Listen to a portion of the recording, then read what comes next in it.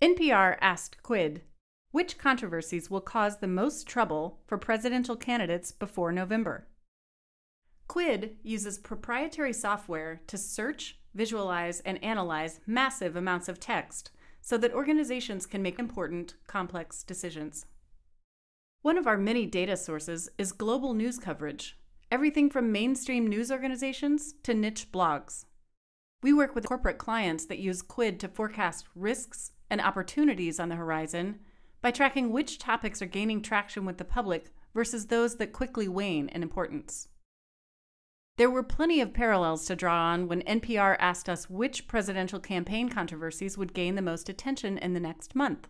We started by building a timeline of all of Donald Trump and Hillary Clinton's scandals from the past year to see which of them spiked.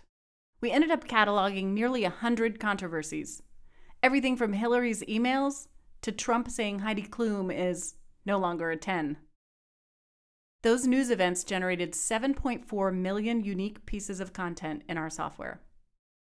Important point we're not a political strategy firm, but Quid allows you to use a combination of machine intelligence and human analysis to become as formidable as any expert on a given topic. Quid can generate a number of different outputs to help forecast what lies ahead. A network visualization shows how all the controversies tie together for each candidate. Time signatures helped us identify patterns of news coverage over time. A heat map organizes each controversy and its news coverage. We used that information in combination with our own human understanding to drive our decisions.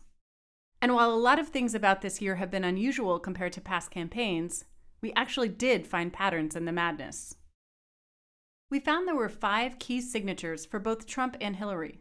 For example, scarlet letters, they were characterized by very high volume, high persistence, and an extended time period. Or sequels, which are defined as controversies that have peaked in the news more than once, but separated by very low activity. So they go away for a long while and then suddenly reappear. By combining historical patterns with a bird's eye view of what's happening in the news, we can be confident about the kind of events that will come in the future.